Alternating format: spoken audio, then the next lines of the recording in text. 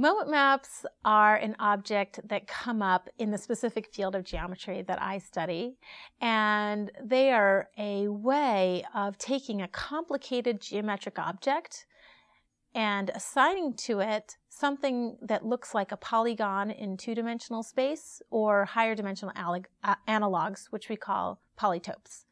So for every complicated object that you have that I'm interested in looking at in my geometric world, there's this very combinatorial object, meaning an object that has somehow easy to describe properties that look like polygons or higher dimensional analogs, these polytopes, um, and we can play around with these these higher dimensional polytopes and try to derive information about the original geometric objects. So it's kind of a tool to get us from complicated mathematics to something we can get our hands on that's a little bit simpler to play with.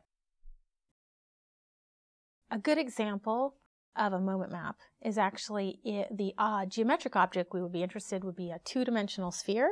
So you could just the surface of a ball and the map would say take the height of the sphere. So it would just be a very simple map and the image of that map is a line segment which says how high it was. So if I think of my sphere as being right here, the height of it is just this big and it's just a little line segment. And that line segment is a one-dimensional polytope. So it's a very simple object to think about line segments. It's a much more complicated object to think about the sphere. Just as a, simple thing of what's difficult about it, for a line segment, it's pretty easy to say what the length of that line segment is.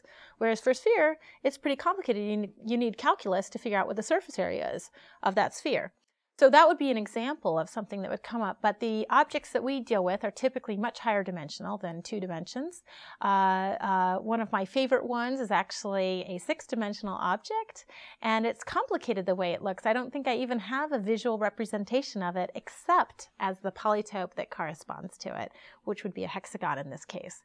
So that would be maybe an example of the kind of thing that we look at, but we get to very high dimensions very quickly. So some of what we're trying to do, we have uh, combinatorial language. We have language that just extracts information about the polytopes, and we can't even draw the polytopes themselves. Even the polytopes are in very high dimensions. But the original spaces that we looked at are so complicated that there really is no good way to visualize them or uh, ways to describe them except in how they are actually defined.